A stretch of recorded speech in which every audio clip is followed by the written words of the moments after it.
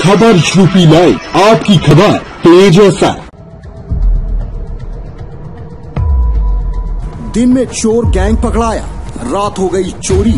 24 घंटे पहले बस्ती पुलिस ने चोरों के गैंग के सात सदस्यों को पकड़कर अपनी पीठ खूब थपथपाई और रात होते ही चोरों ने फिर एक चोरी की घटना को अंजाम देकर पुलिस के सामने फिर से चुनौती खड़ी कर दी है।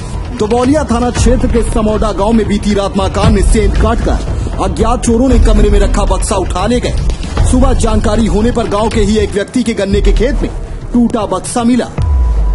वहीं बक्से में रखा जेवर अज्ञात चोर चोरी कर ले गए। घटना की सूचना पर पहुँची पुलिस। जाँच पड़ताल में जुटी रही। जानकारी के अनुसार थाना क्षेत्र के समौडा गाँव निवासी जगदम्बा प्रसाद के मकान में बीती रात अज्ञात चोरों ने सेंध काट कर कमरे में रखा एक बक्सा उठा ले गए। जगदम्बा प्रसाद ने बताया कि हम लोग घर के बरामदे में सोए थे, जबकि हमारे पिताजी घर से 20 मीटर की दूरी पर मड़ाई में सोए थे। सुबह जब सोकर उठे तो देखा कि कमरे के बाहर की दीवार की करीब एक मीटर चौड़ाई की ईटे निकली हुई हैं। अंदर कमरे में रखा लोहे का बक्सा मौके से गायब था। उसके बाद तलाश करने पर सड़क के पास गाँव के ही राम बुझारत के गन्ने के खेत में बक्सा एवं बक्से में रखा कपड़ा बिखरा हुआ मिला, जबकि उसमें रखा जेवर गायब था।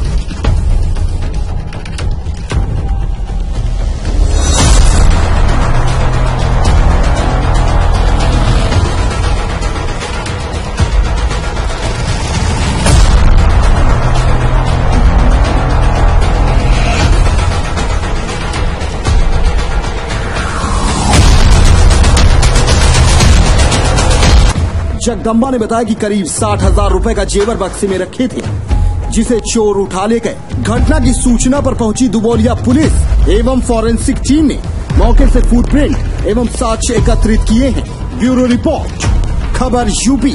चोरी हुआ है और बक्सा सड़क गन्ने के खेत में मिला है। फिर पाव जेब और मंगलसूत्र, करधन और ये मात विद्या ये सब भी चोरी हो गया है पूरा जेवर चोरी हो गया है। कब आप लोगों को जानकारी हुई है? मेरी जानकारी सुबह पाँच बजे हुई है। क्या नाम है आपका? लव कुश कुमार। किसके खेत में मिला? राम बुझार कसैला बाबू। गन्ने की खेती है गन्ना की खेत।